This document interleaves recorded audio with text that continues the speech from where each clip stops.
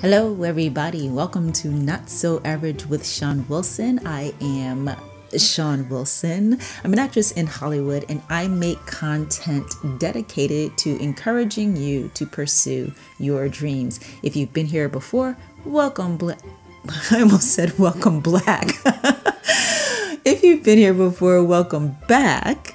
And if you are brand new, welcome white. I don't know. I don't even know why I said that. I probably shouldn't have said that. I mean, I know why I said it. We all know why I said it because it's like a play on the Welcome Black slip up that I made. And listen, all right, now I feel compelled to say that this podcast is for everyone, regardless of ethnicity, uh, gender, sexual orientation, religion, creed, blah, blah, blah, blah, blah, blah, blah. Um, nationality, you know, what country you're in. It. It was a slip of the tongue that has now gone out of control. So I'm going to stop this right now. We are going to move forward. Today, we are going to talk about why your childhood dream won't come true, no matter how hard you try. Now, that sounds serious. That sounds um, defeatist. That sounds, oh God, there's a word I'm looking for that also starts with D. And I can't, dire, dire, dire, right? It sounds all those things, but it's not. It's actually quite, quite hopeful. Of course it is, because that's what I do. I bring you the sunny side of the equation, the sunny outlook, the sunny perspective, the positive way to approach what it is you are experiencing in your life that may or may not be keeping you from your dreams. So, um, yeah, I just feel the need to say quite clearly and honestly that this podcast this episode of the podcast, I should say, this episode is not for everyone. Okay. Some people are going to just hear me say your childhood dream won't come true. You're going to get hung up on that half of the phrase and miss the rest of the message. I would like to encourage you to stick around anyway.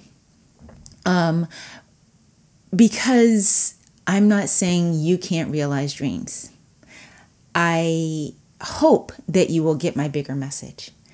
For those of you who don't get triggered by hearing that you can't do something or you won't be able to do something, uh, this message is definitely for you. Though, as I said before, I feel everybody can benefit from it. So let me go ahead and explain because I feel like I'm just kind of rambling at this point.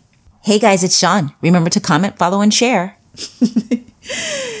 Why your childhood dream won't come true no matter how hard you try. It's this simple. You're not a child. You're not a child. Not only are you not a child, you're not the child you were when you first came up with this dream. So I had this realization for myself recently, and it was quite freeing. So, of course, because it was freeing for me, my first instinct was hey, I need to share this with my peeps.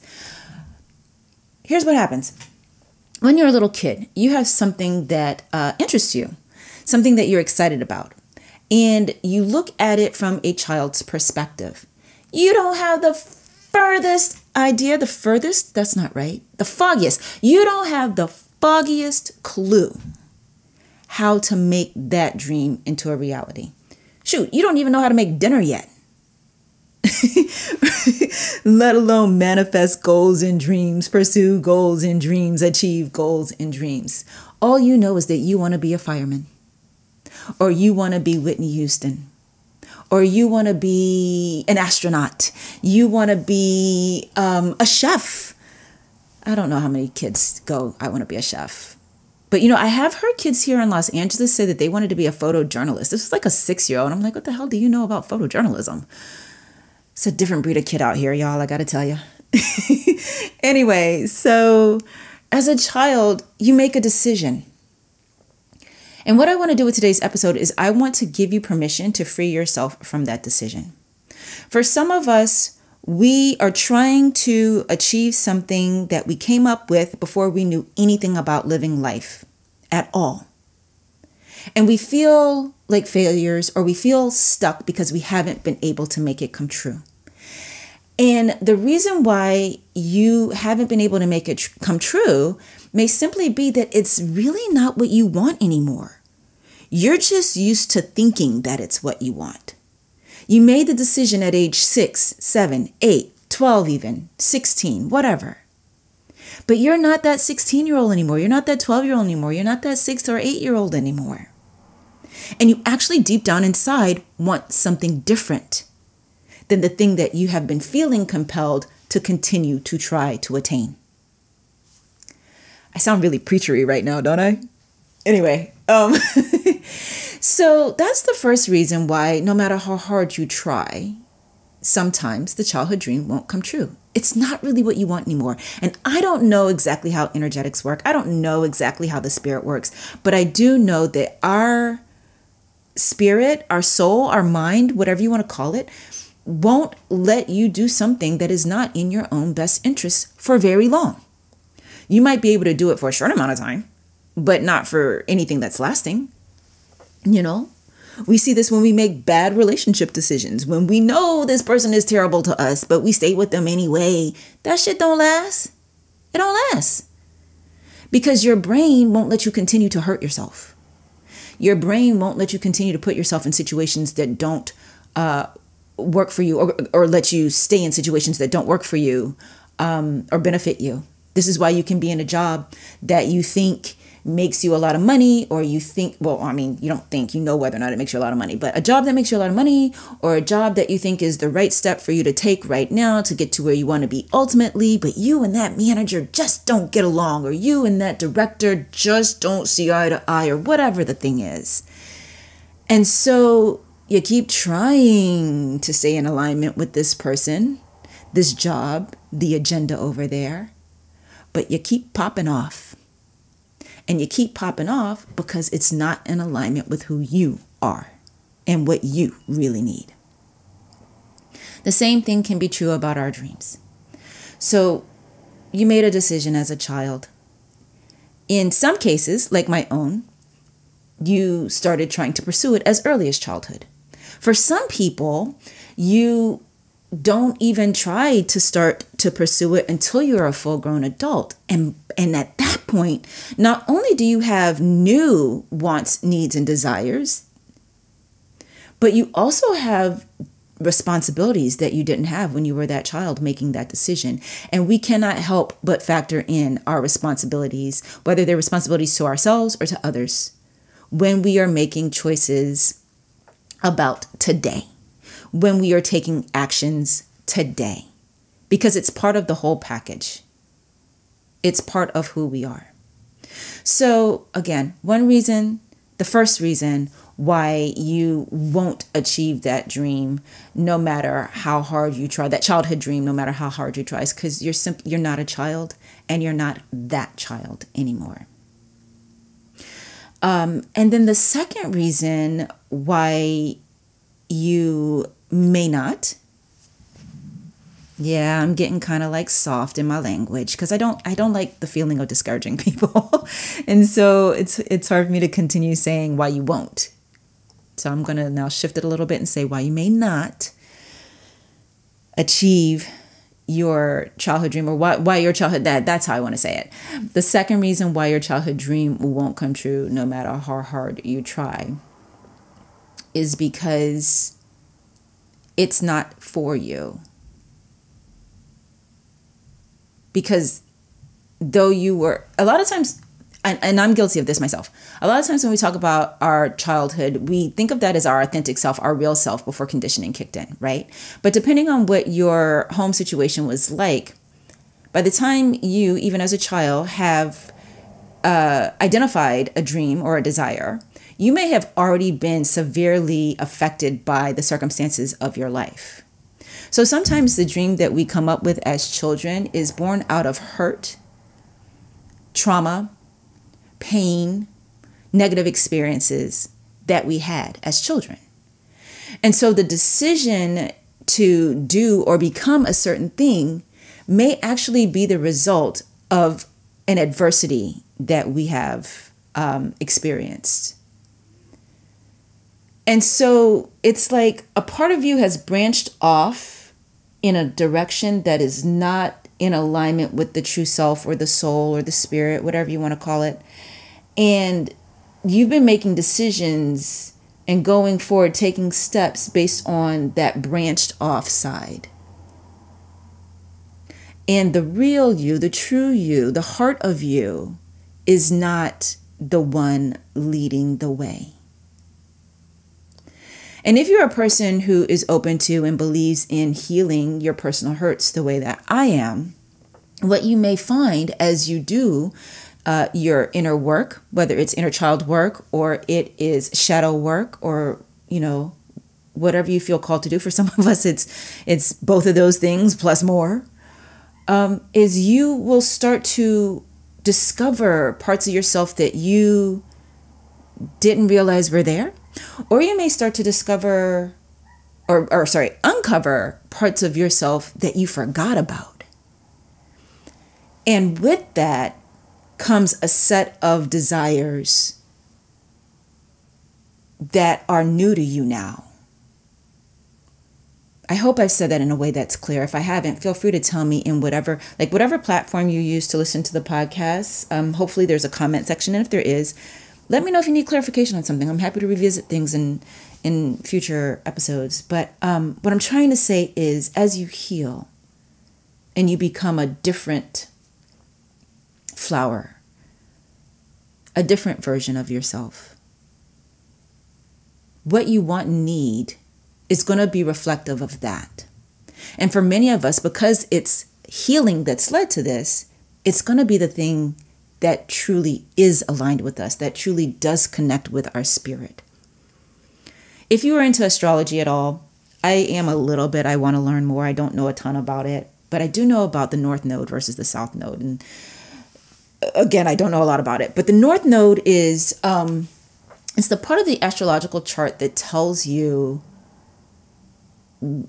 what karmic direction to go into in this life, go towards in this life. If my friend Amanda is listening to this, in in you and I'm and I'm and I'm getting it a little bit confused, please feel free to to type in the comments there, you know, how I can better explain this to people. But what I'm trying to say is there is something that is uh, part of us at birth that is like our mission or destiny or calling. And it's the North Node. And a lot of people don't know about it. It most people I would say probably don't know about it, and a lot of people don't um, know to direct their energies towards that. They're making decisions. We are making decisions based on what someone said to us what someone told us or what we thought we wanted for ourselves.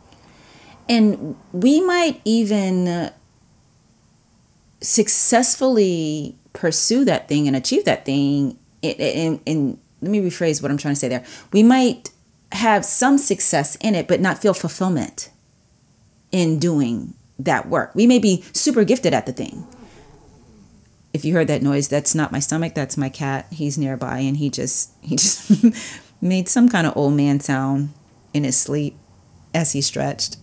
Sorry about that.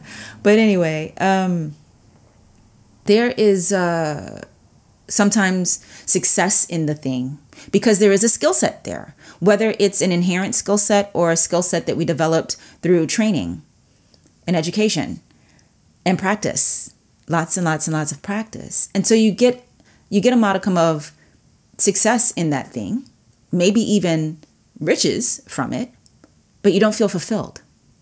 The feeling of fulfillment comes when we are doing the thing or being the thing that is in alignment with or reflected by what our north node tells us in our astrological chart. So I um, I brought that up because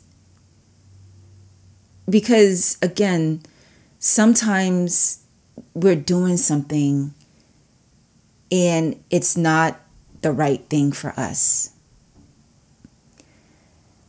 And sometimes that decision was made when we were children, whether it was our own desire to be the fireman or Whitney Houston or the astronaut or whatever, or because some well meaning teacher in a class that our parents chose to put us in saw that we were picking up on the skill set really fast and said that that's what we should do with our lives, and then we moved forward with that. So it's not that I'm saying with this episode, oh, you won't do the thing you wanted to do as a child. You may be someone who does it and it works just fine and it brings you fulfillment. See, that's the holy grail. Some people have that experience. But the reason why I wanted to do this episode today and why I titled it the way I did and approached it from the beginning the way I have is because for a lot of people, there's a feeling of frustration about the childhood dream. Whether it's that you've been trying and it's not working, or you haven't even given it a, tr- a try yet and you feel bad about yourself for not taking any steps towards it. And if you're in that second camp, I want to tell you to give yourself permission. I didn't say that right. Let me try it again. What I'm trying to say is I want to tell I want to I want to invite you to forgive yourself for not realizing your childhood dream. And maybe as a thought experiment, because you guys know I love giving you thought experiments to do, maybe as a thought experiment, imagine, spend some time more than once imagining what your life would be like right now if you were living that particular dream. And imagine it from a place of the reality of that dream, not just, oh, I just placed, uh, I just got the goal in the Olympics and everyone's cheering. And yeah, that's, that's, that's the pinnacle, right? But all the steps that come before that, all the things you have to do before you get to the gold medal. Is that something you would want for yourself right now? Is that something that you would have wanted to experience over the past 10 to 20 years? And if it is, and you're still excited about it, then find some way to do some version of it. Some version of it. So if it is, you know, that you had hoped to be an Olympic swimmer, but, you know, now you are clearly not of an age where that is a possibility, find another way to be a competitive swimmer. And if there like it could even be a seniors competitive swimming league. And if that doesn't exist where you live, you be the one to start it. For some of us, we'll do this thought experiment and we'll realize that, oh, you know what, that that life, that set of circumstances isn't really what I how I would want to spend my time now. I'm just so used to thinking of it as my dream because I started dreaming about it as a child. And it's been as much a part of my identity as the color of my eyes or my last name. So give yourself permission to take a look at that and make, um, I don't want to just say a new choice, but release it. If you feel called, if you feel like this wasn't the thing, release it. Don't let it hold you hostage. And I want you to release it so that you can give yourself the freedom to find a new dream the freedom to find a new hope, a new goal, the thing that works with who you are today. My sisters, at least one of them, I'm not going to call you out the one that doesn't really listen to this podcast, but one of them watches it. And so, um, or listens to it. And my sisters and my mom, uh, maybe not my mom, but my sisters will definitely tell you I am not the same person as I was 20 years ago. I'm I grew up. we do that, right? We grow, we grow and we change. We change and we grow because we get exposed to new things. We get exposed to things, we learn things, we experience things. Um, we have more information than you do as a child. Children know nothing, they're stupid by nature. So don't hold yourself hostage to any decision that you made when you were little let it go. Or if it's still something that is in your heart to do, forgive yourself for not having done it yet and find a way to approach doing it from who you are today and what your circumstances are today. So it might be the same activity or becoming the same thing, but look differently than you thought it would look. Uh, I don't think I need a ly on that. Look different. It will look different than it did when you were looking at it through a child's eyes. I have used the phrase childhood dream in the podcast several times. Several times. And I might stop. I might stop. I don't know. I just feel like it can be um, a shackle for some of us. And a big part of this podcast is helping you to feel the sense of freedom to go after something that matters to you today. The third thing is, um, you know, trying very hard to reconcile or make right something from the childhood can keep you stuck. I can speak to that from personal experience. Trying very hard to get young Shon something can keep me from giving adult Shon what she needs right now. God, if only I could say everything so succinctly that I don't even feel the need to expound on that. Trying to make the past right keeps you focused on the past, and the past is gone.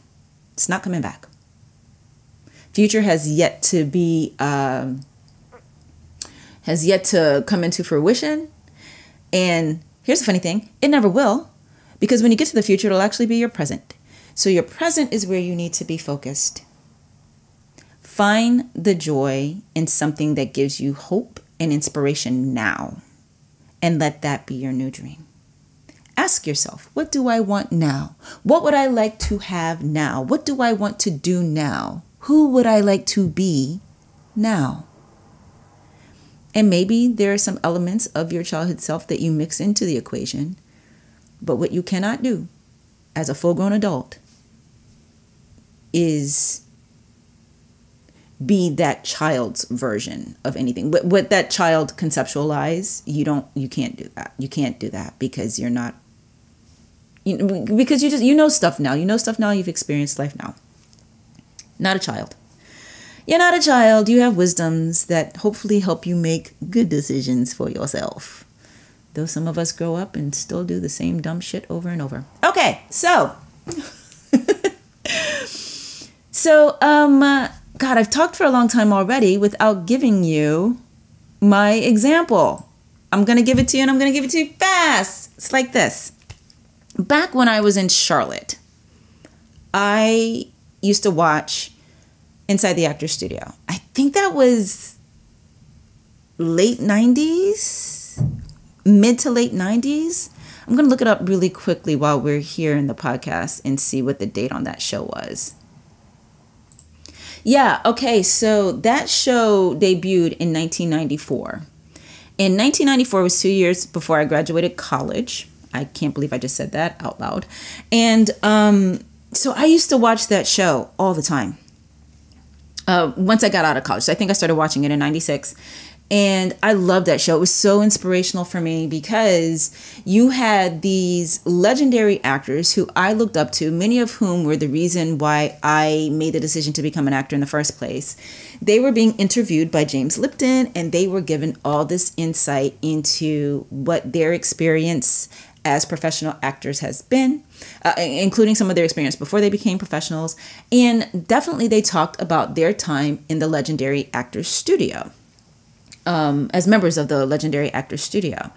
And, you know, the Actor Studio is located in New York. For anybody who doesn't know, I was living in Charlotte, North Carolina, which is, you know, a 13 hour drive from New York. So auditioning for and being a part of the Actor Studio, which is still in existence and still operational, um, does was not a possibility for me. But then when I moved to Los Angeles, there is a um, the West Coast. I don't want to say version. That's not the right word. Division is also not the right word. I'm struggling with words today, people. I'm so sorry.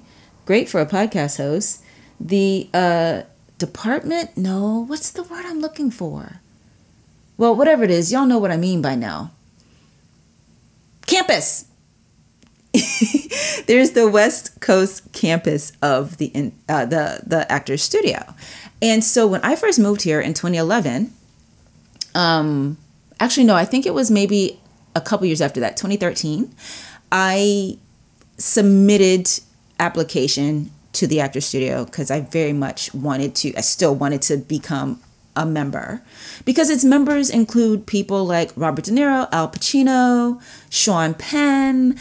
I'm so sorry that I'm only thinking off the top of my head of male actors and white male actors at that. Um, but there are a ton of legends. Just just Google it, look it up.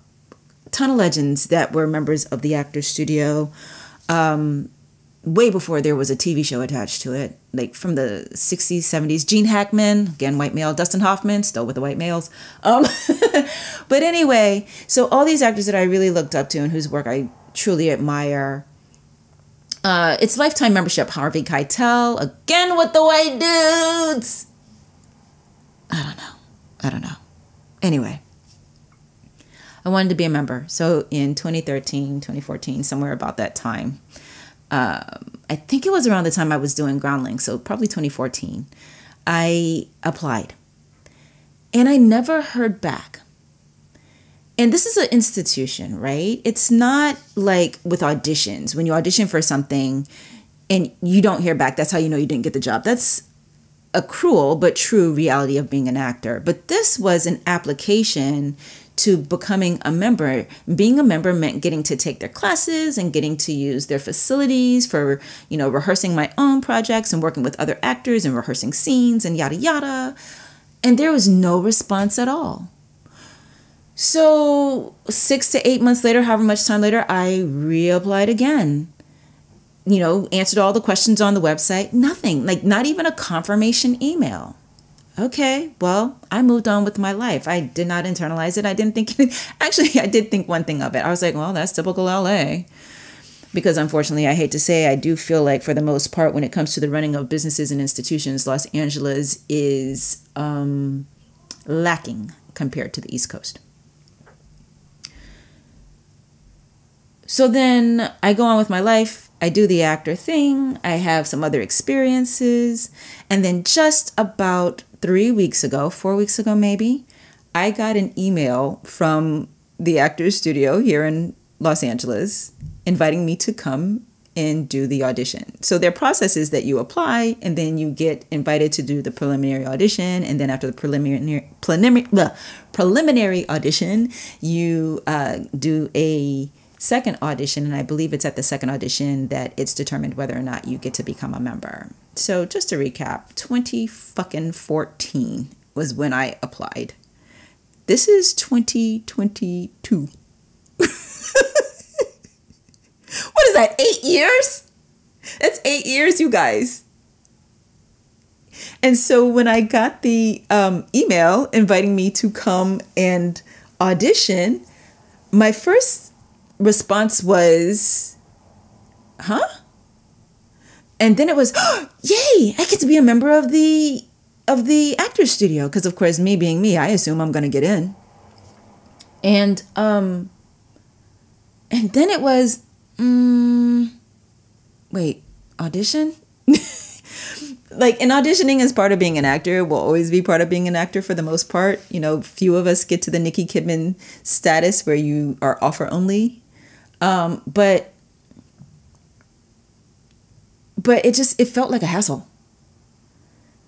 But I knew that I had wanted this since the mid 90s.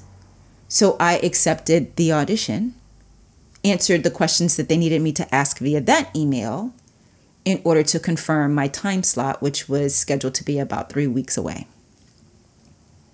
And every once in a while, I'd be in my email. After that, every once in a while, I'd be in my email and I would see it and I would constantly feel this, like this feeling in the pit of my stomach, like, ugh, I don't want to bother. That kept coming up for me. And then it would be, it's the actor studio and you really want to be a member of the actor studio. And so my desire to be among, you know, to be like in the same fraternity, so to speak, as these uh, legendary actors that I've always looked up to, and uh, Sam Jackson, one of my favorite actors of all time. The, the conflict between wanting that for myself and having wanted that for myself since the mid 90s and just not feeling now at the age that I am in the year that it is like I wanted to audition to ask for a spot to to do what essentially would a amount to taking more classes in LA. They just happened to be free. It just wasn't there. I didn't want to do it. I didn't want to do it. I had already been through so much with the LA transition. I had already been demoted in so many ways from what I had been when I was in Charlotte. When I came here, man, did they teach me humility. These people were not even close to impressed by me and they didn't give a shit. And I rolled with it. I humbled myself. I jumped through their hoops. I did all the things that I'm supposed to do to start to get traction here, you know. In fact, one of my one of the reasons why I initially did apply for the West Coast campus of Actors Studio uh, was not just because of the fulfillment of a childhood dream, but because I thought it would be a great way to keep, and it would have been a great way to uh, keep my skills sharp when I wasn't getting hired for things, because there are all these free act- acting opportunities that are part of being a member. And then also, I thought in terms of connecting with other actors and networking, you know. People hire you or refer you when they know you. And at the time, I was such an unknown entity here. Nobody knew me.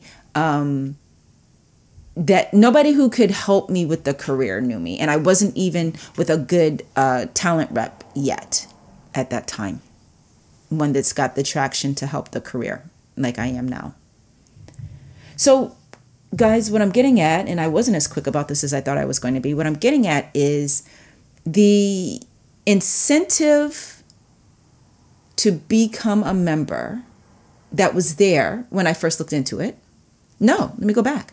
The incentive to become a member that was there when I first learned about it in the mid 90s, that incentive was no longer there.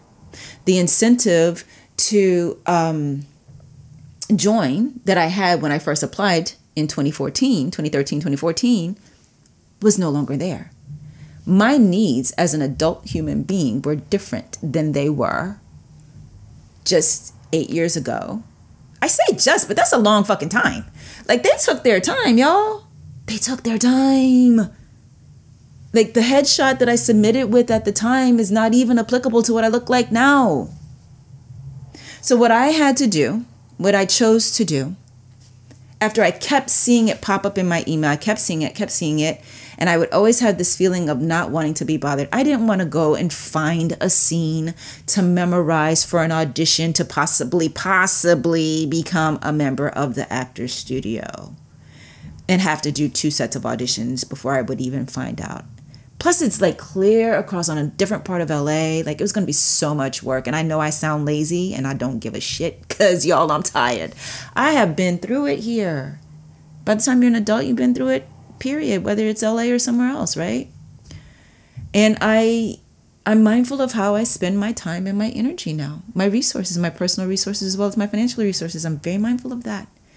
And I did not feel that auditioning for, it wasn't ready membership it was auditioning for the actor studio was something that I wanted to do anymore. And I knew I was letting go of a dream. And I don't do that. I never let go of a dream. Never. But I knew that was in my best interest. And looking beyond myself, in the best interest for the institution and the other actor who would get to have my audition slot. And that's what I did. I wrote them and I uh, I canceled the audition. I thanked them for the opportunity to audition for them for giving me that opportunity. But I said that I wanted to release the slot and that they should feel free to give it to somebody else. And I hope that they do. I hope that they did.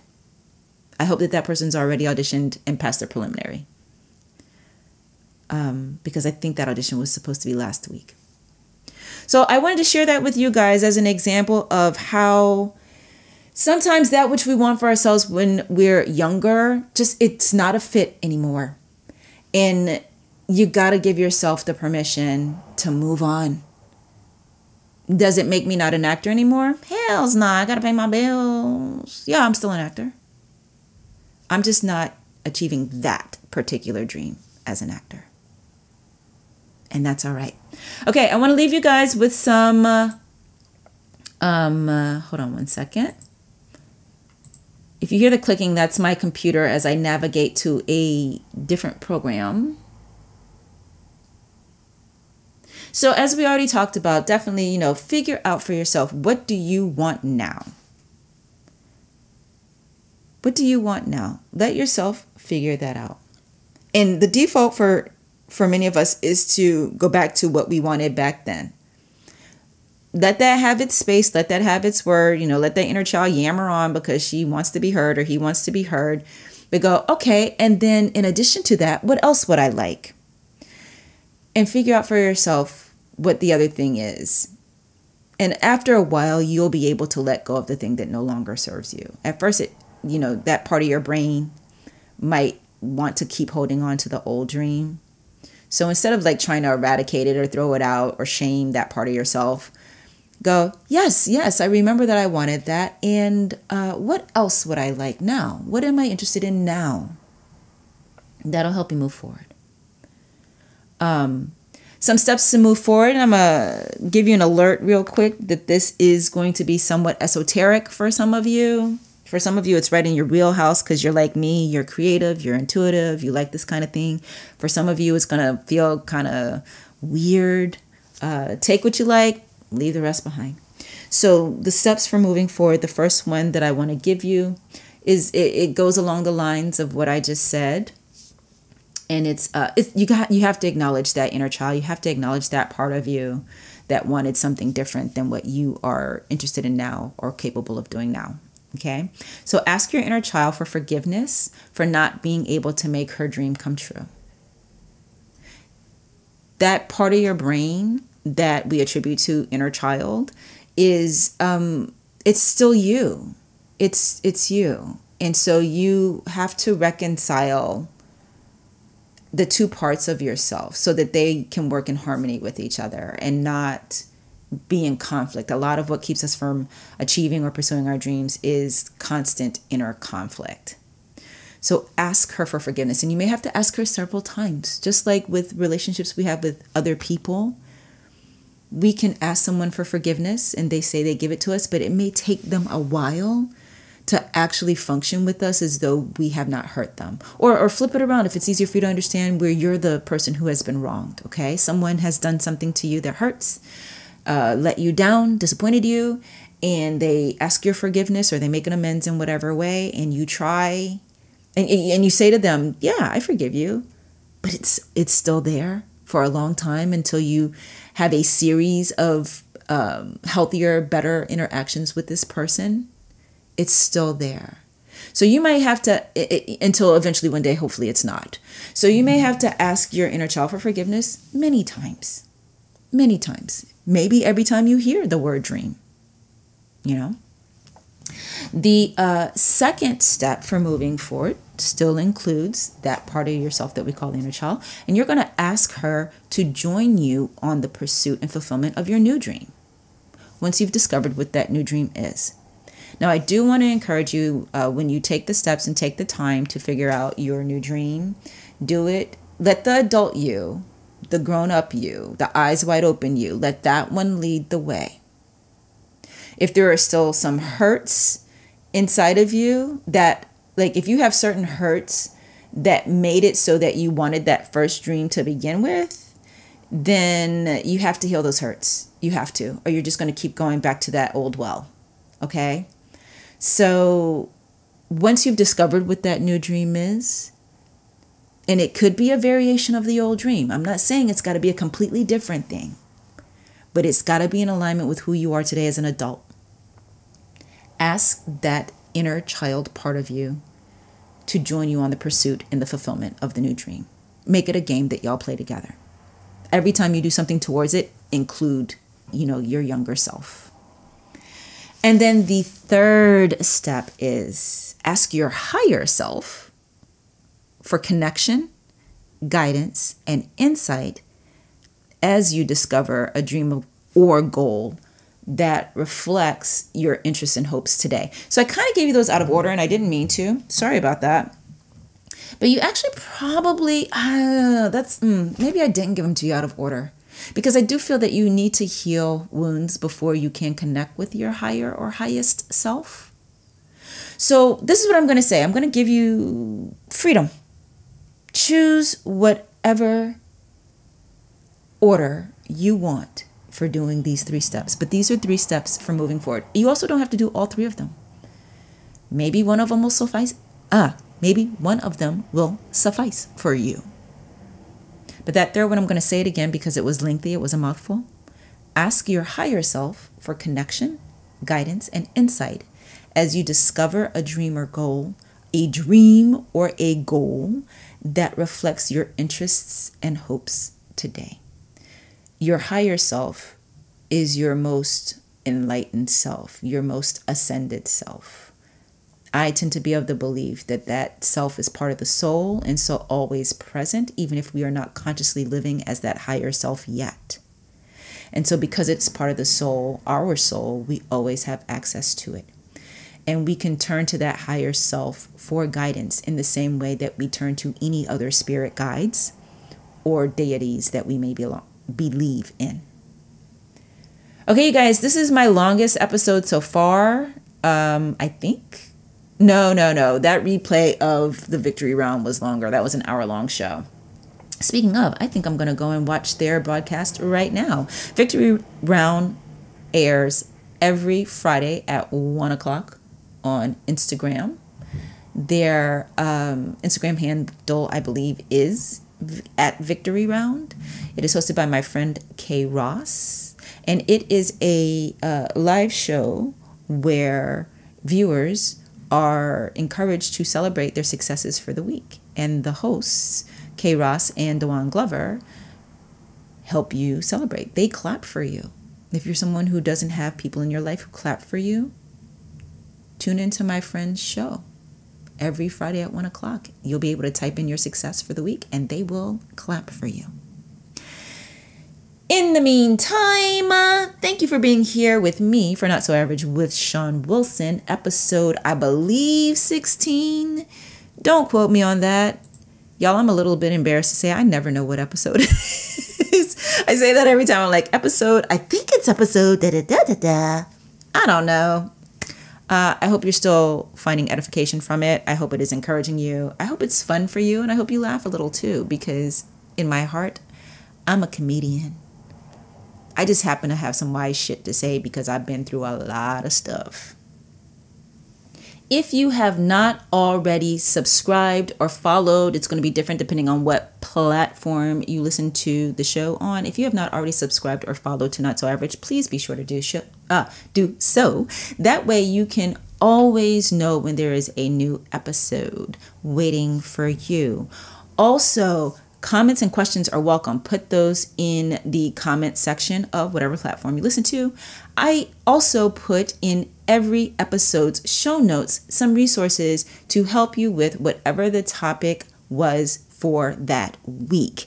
Look out for those below. A lot of times there are links to uh, resources that are products like books, CDs, other forms of audio uh, available for you on Amazon and Audible. I had that long pause there because for a second I couldn't remember which one needed to come first. Doesn't matter. Amazon, Audible, there are resources there for you. I have the links below in the show notes. As well, I am now currently an Etsy seller and an Etsy affiliate. So some of the links will be Etsy links. Some of them will take you right to my shop where you will find, again, resources for you to help you pursue your dreams. That's what I got for you people. Thank you for being here, and I will see you next week. Aren't my theme songs fun? I found them at Purple Planet Music. You can find music for your projects there too. Just go to purple-planet.com.